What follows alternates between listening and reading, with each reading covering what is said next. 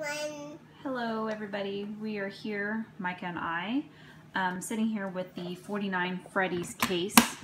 I do have another latch coming. Micah, get your head out of the way, dear. Um, I do have another latch coming because obviously it's missing a latch on here and then I was scraping off some of the paint and um, a sticker of some sort that was on there. The bottom of this box as soon as Steven gets home, I'm going to have to talk with him about it because um, it's going to need a little bit of reinforcement. I find it interesting with some of these boxes when they've come. Um, it just makes you wonder what, you know, sort of life this particular machine has had or, you know, what has gone through. Again, the machines could only tell us.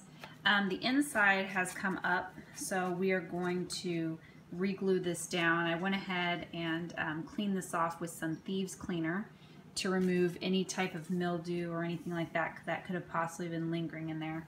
And then the tray is in really good shape, so we're probably just going to go ahead and polish up the tray ahead of time um, while I'm waiting on um, doing this particular case.